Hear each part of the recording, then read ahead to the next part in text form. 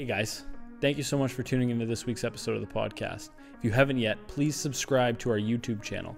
Uh, we're trying to grow our channel, and as we continue on with the podcast, we want to start new forms of content. We want to start posting our work here on YouTube. So if you want to see some of that and continue supporting the podcast, please subscribe.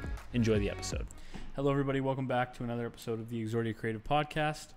Hope you had a great holiday season. Hope you're bringing in the new year with some positivity and having a good time. Happy New Year. Happy New Year, dude. Feels like it's been a while since our last podcast. Feels like six We did we did take a week off. We yeah, did. it feels like six. Yeah, yeah. And we had that weird period in between Christmas and New Year's where it's like, hmm what day is it? I feel like it's the gooch of the year. Anyway, We we used it uh, somewhat productively we had our meeting, our to year uh, meeting. yeah uh, wrap up um, how we thought we did with some of our goals for 2020. Kind of take inventory, Yeah. set some more for 2021, which Yeah. is definitely an ongoing process. But I did think of one thing that we really dropped the ball on this year. what's that? You want me to say it? Sure. The sweaters. Yeah, we did. We dropped the ball on that, guys. Yeah. And we apologize. Um, we definitely still want to do some kind of merch, clothing. I think this process was a little too complicated.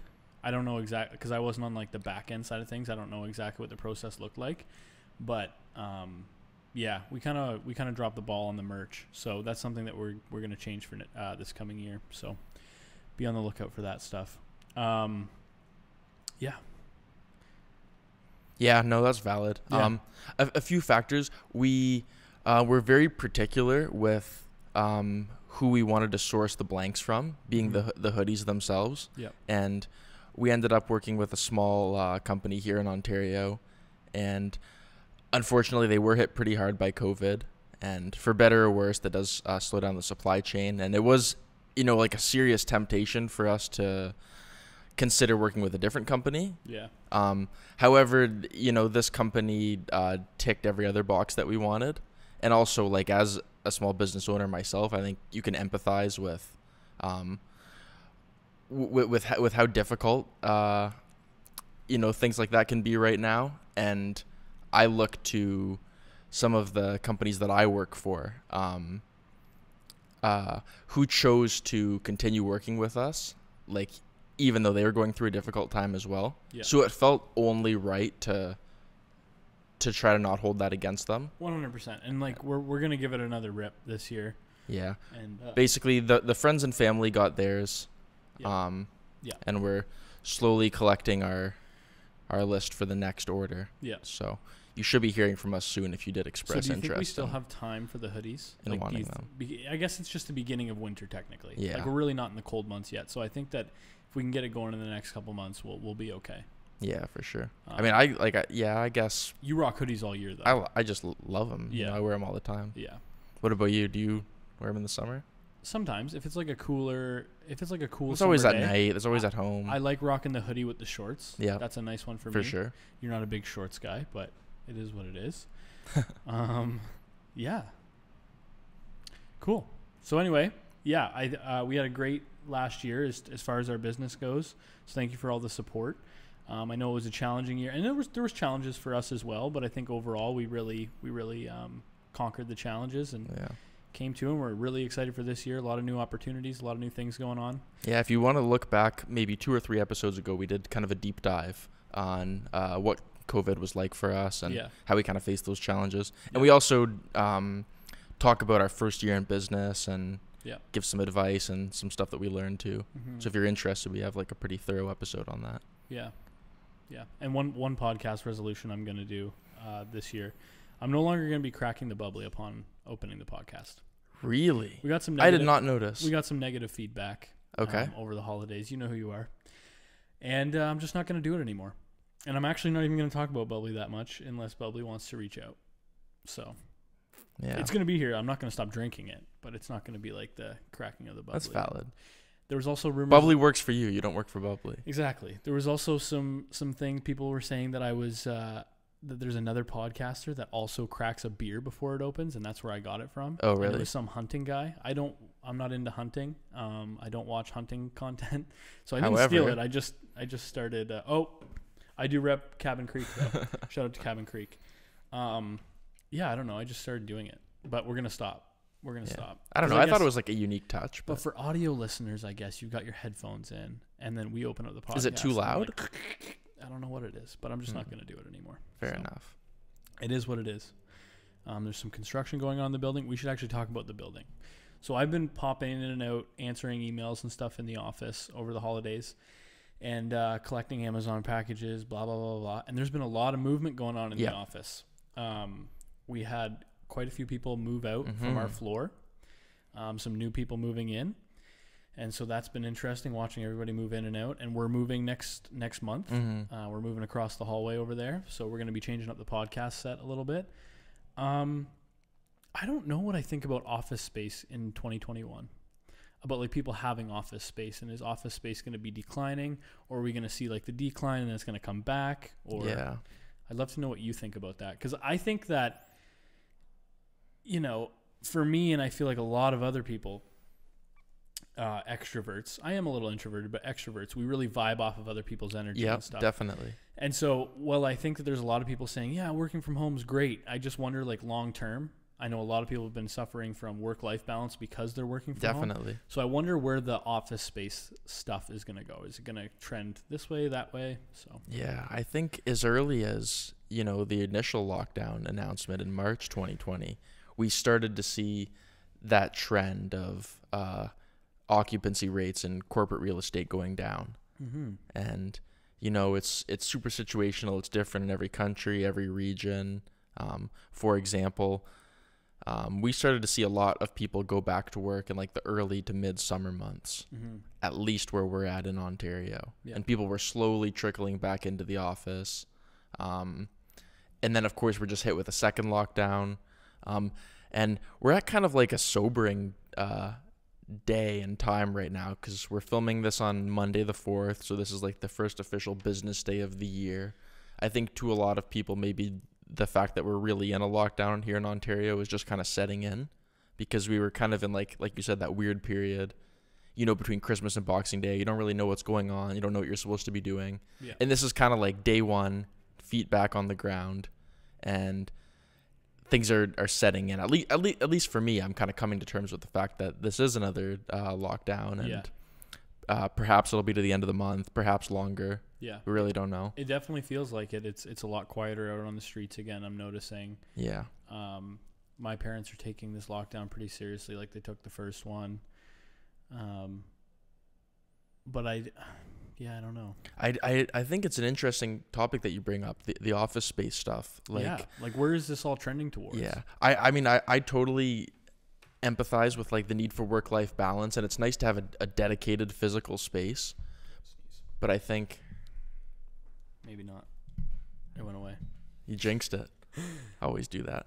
But I think, um, you know, this is going to be a real test, and I think it's really going to make it's really going to beg the question of how bad do I need the office space? Mm-hmm. you know, because if things are tight for your business financially and this is something that you could live without and the only sacrifice you have to make is like a little bit of work life balance, not not to underestimate how important that is. Um, but I feel like this is really uh, going to make people second guess if they need the space or not. Yeah. And for some industries, it's a no brainer. Of course, you need a space. Yeah. But I think we're seeing a lot of people, uh, a lot of people uh, reevaluate their relationship with their office. Yeah. Yeah. At least for small businesses, anyway. Yeah. But but but on that note, I like I never understood the appeal of um, renting or moving out or moving in on January first. Like that seems like the worst time to do it. I understand it's the start of a calendar year, Yeah. but like us or like you personally, for example, like isn't February first just such a better time? That's just kind of when it lined up. Yeah. Like for the house Sarah and I or any other month that's not New Year's Day. You yeah, know? but even February sucks because like it's wet. I'd prefer to move in like the summer. Yeah, the very fall, true. You know, when it's a little drier very out. true. Um, so I'm not looking forward to the Yeah. to the wetness of I don't know. You don't want your house like half packed up on Christmas, Yeah, but a lot a lot of people move a and lot like of people do move. I guess this is like a, a corporate uh, building here, so it's a little bit different. But yeah, a lot of people in and out. Yeah, and we should say that like not that this building specifically is a is a trendsetter by any means, but as the offices have been emptied, people are coming right back in. Because I know, uh, like for example, when they move out, the Blair Bros they have it filled right back up, like, Right. right away. Um, and I remember back when we wanted a space in here that there was a wait list even. So I don't know what's going on. Yeah, I think you know supply and demand because if they need to get their occupancy up and things stay empty for a little long, then they're going to be more lenient, and more flexible on Yeah. what kind of prices they're willing to accept for the rent. Yeah. Yeah. What a crazy time. Um, yeah. Long term, I think it'll be interesting. I think Yeah. this has definitely accelerated our trend toward like digital collaboration and stuff. Like, Mhm. um, you know, uh, number one app of the year for uh, iPhone and iPad was Zoom, Yep. which is really a sign of the times. had a few Zoom Christmases. Yeah, definitely. Yep. It's interesting. As a as a technologist and as somebody who loves the future and looking forward to stuff, um, I'm very fascinated by it, Mhm. by like how rapidly we see these these these uh these trends scale in just a matter of months. What you know, some projections say would have taken years to happen. Yeah. It's accelerated a lot of things and slowed Mhm. a lot of things down. Yeah, for sure. So, finance minister of Ontario decided to head down to the Caribbean. Did you hear about this? I did hear about that. First and foremost, What a man, move. shout out to Bill Morneau, uh, former uh, Trudeau government uh, finance minister, one of the best to ever do it. Okay, he brought in the TFSA, one of the best uh, registered financial accounts ever. Um, we're so privileged as Canadians to even have access to a financial vehicle like a TFSA. So he's a boss for that, Yeah. and he phased out the penny. Yeah.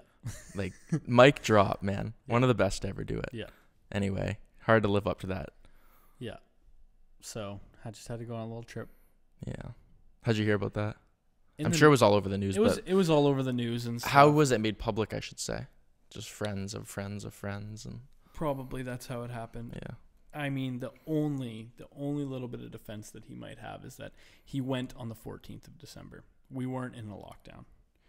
So he left on the 14th. He was away for 2 weeks. Dougie called him, said, "Hey, where you at?" He's like, "I'm out of the country." He's like, "Okay." And so Doug was like, "Man, I probably should have told him to get his ass back here." But he didn't. And then so he came back, him and Doug met. He actually gave a little press conference in the uh, airport. He met with Doug and I'm assuming Doug was like, "Hey, dude, you have to resign," because if they didn't do that, or Doug didn't fire him, or there wasn't some crazy, um, there- not crazy, but if there wasn't some um, justice for what he did, there could have been an uprising. People were already upset. So, anyway, can't go on vacation. yeah. How do you feel about that? I feel like it was a really bad political move to go on a vacation. Mhm. um, and and politicians and public figures they're held to a higher stand, especially when they're the ones enforcing these laws and f- enforcing the the lockdowns, and then they go and do something like this, makes the whole the entirety of the um, politicians look really bad. Yeah. So I don't know. That's where we're at. How do you feel? Yeah. I, I like I understand uh, the outrage because you're supposed to lead by example. Yeah. Guy probably wanted to break. I get it. He's probably been a little busy this year, last year, Mhm. but Yeah. I mean, the, the libertarian in me probably uh, wishes that he, as like a private citizen, um, would, would would be able to um, make those choices without them becoming like public knowledge. Um, but do I think it was a wise decision given what's going on? No, probably not. no. So did he resign? Gotcha. Yeah. Bring back Bill. I'm guessing. I'm guessing. No, there's already somebody new appointed. Oh, okay. But I'm guessing. I'm yeah. There's because in his press conference he said I'm not going to resign at this moment. There's still a lot of work I want to do and I want to be a part of it. Blah blah blah blah. But then after the meeting he resigned. So I'm guessing Doug was like, I either can you or you resign. Yeah, So that's tough. yeah, I'm surprised we're not hearing uh, about more figures doing stuff like that. I'm sure there's a lot of them doing it. I'm sure there's a lot of people, even even public people, um, locally. I'm sure they're going out Mhm. and doing things and blah blah blah. But I know it was big news that I think uh, the mayor of Los Angeles, it might be the governor. Um, he's But I- up big. I think it's the mayor of Los Angeles. Yeah, who's been un- under scrutiny, just like um, just like some of the statesmen in, in New York have also been criticized like equally as harshly. But he was photographed at like some big opulent fancy dinner with like 15 people Yep. indoor dining at a restaurant um, and he's also uh, closing restaurants and Yeah. you know It's a fine line. I would hate to be a politician right Mhm. now of any of any size. yeah gosh i could It's never tough. do it It's tough. Anyway, let's get to some positivity. What are you Mhm. looking forward to this year, Jared?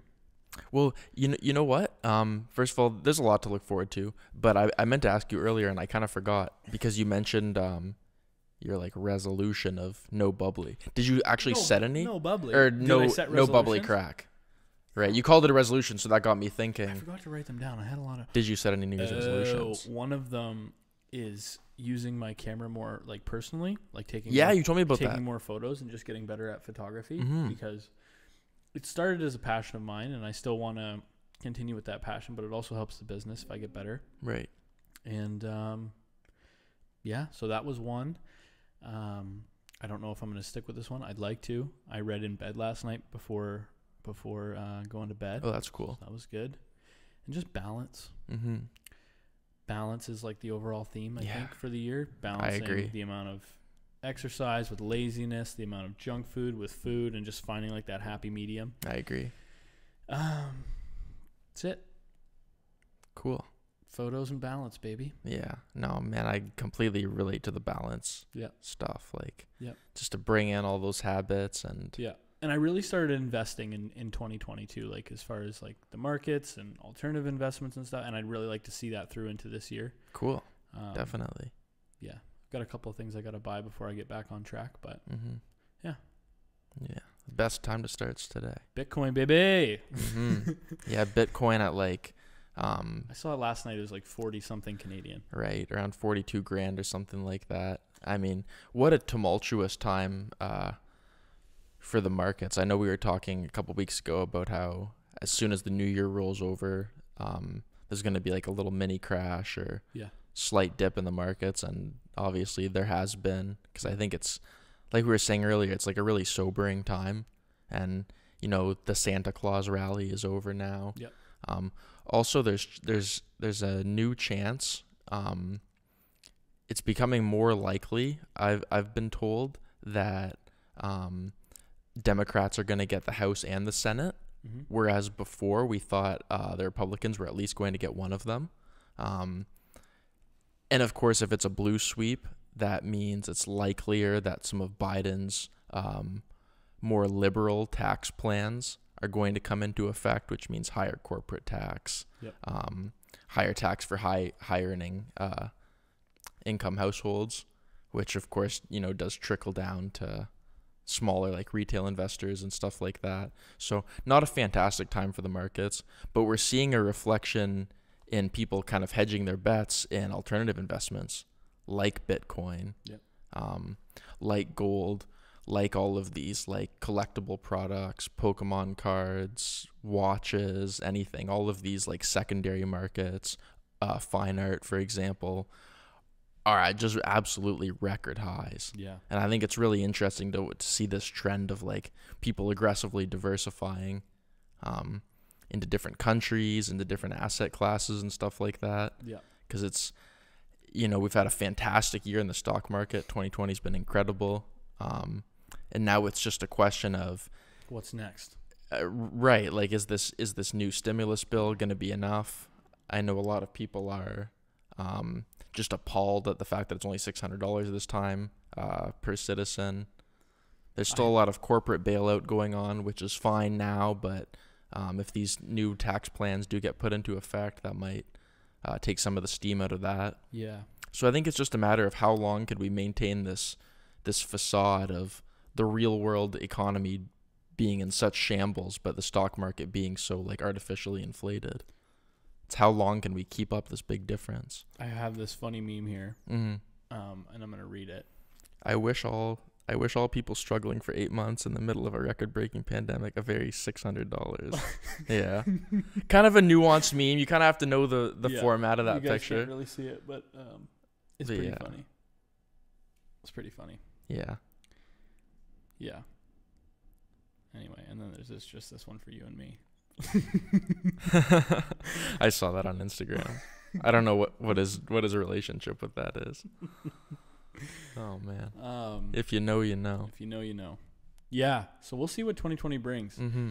Um, I know that Donald Trump just called on some statesperson to recount the votes in some state or whatever. He's- Georgia. He, ne- needs another 11,000 votes or one vote or whatever to.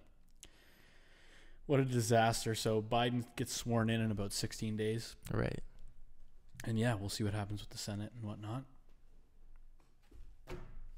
Here we go, baby. Mm-hmm. What are your New Year's resolutions, Jared? Um, one of mine is gonna be to try to cook a little bit more. 'Kay. I'm, um, I'm awful. You like to eat out a lot. Yeah, probably every every single day. Yep. Um, no, I don't. I don't think I'm a I'm a bad cook. I I got just a great veg cookbook for you if you want it. okay. I just don't cook enough to know where I'm at. Yep. So I'm I'm slowly making an effort, Yep. and it's been really fun, uh, to get inventive with some of the meals. I do follow a vegan diet, so it makes it. I don't. I don't want to say trickier because there's a lot of great options out there, but you do have to be more creative. Definitely. Shout out to the Superstore. They have uh, one of the best vegan selections in Chatham, I, I think. Yep. Chatham's Whole Foods. Yeah, exactly. They've got a few not not dedicated aisles, but they've got around four aisles for like specialty diets and stuff like that. Yep. So it's pretty good, but that's a big one for me. Um, is uh, trying to cook more. Also, um, depending on how long this uh, work uh, this lockdown goes, I'm thinking about switching up my workout routine. So I might uh, try to. I've been slowly trying to get into some more like body weight, calisthenics kind of stuff. Easier to do at home, requires less equipment. That might become more necessary uh, if this lockdown becomes longer than than a month. Just something to keep me active, keep me going. Uh, but yeah, the cooking is a big one. Yeah.